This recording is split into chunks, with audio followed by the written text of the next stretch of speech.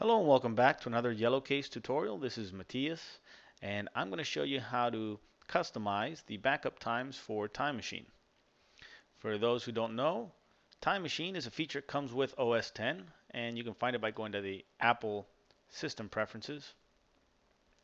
And in the Systems row, you'll notice Time Machine there, second to last. If you click on it, mine you'll notice is on and it's set to back up my entire computer to a volume that I've actually named manually Time Machine. So yours can be named anything.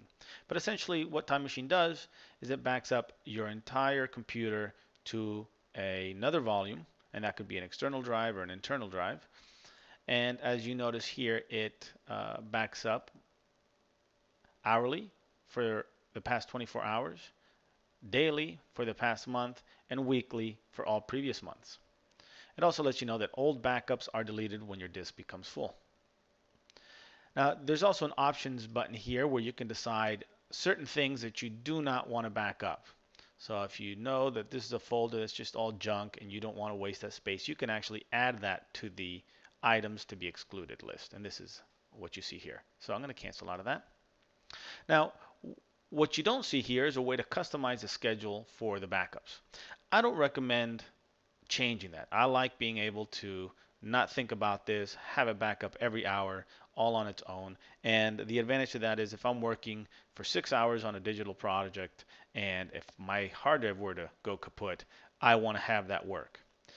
Some people, however, because either their computer is a little bit older and uh, it lags when Time Machine is running, or simply they want to dedicate um, all of their processing power to another task, while they work, they want to be able to edit this. And for that, I'm going to close out of this.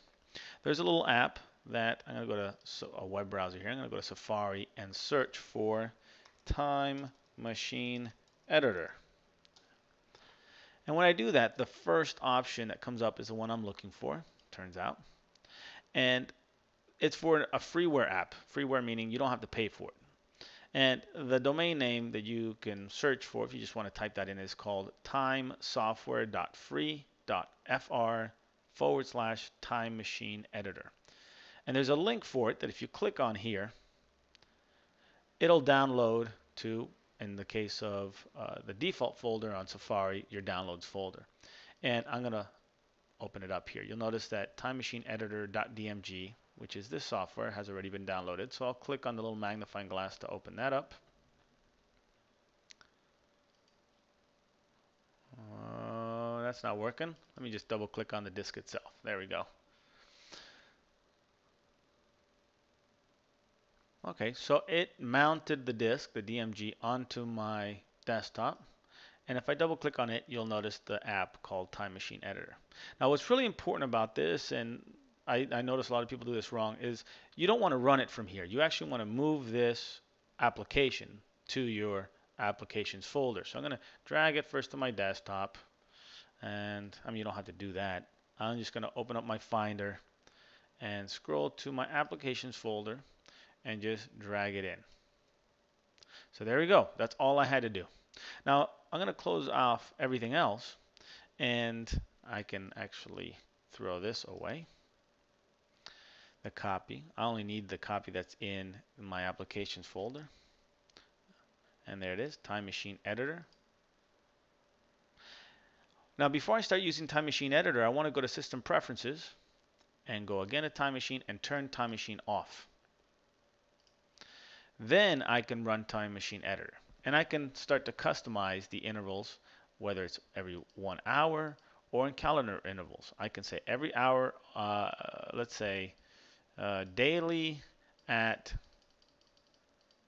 9:28 p.m. and also weekly on Sundays at let's say really late at night. So I'm going to say at um, 12:28 in the a.m. and so forth and so on. So you can you can make this as complicated or as simple as you like, hitting the plus sign to add another uh, condition or the minus to delete one. You select apply type in your admin password, hit OK, and now you'll notice the switch automatically switches to on. And that's it. Now everything's going to be backed up to whatever disk you've set up in Time Machine. So the only thing this is editing, and I'll say this one more time, it's still going to use the settings that you have here in Time Machine, meaning it's still going to back up to the disk that you selected in Time Machine. It's still going to back up with the options you selected in Time Machine. However, it's going to use the intervals that you specify, specified in Time Machine Editor. So there you go. That's how to customize your Time Machine backup schedule.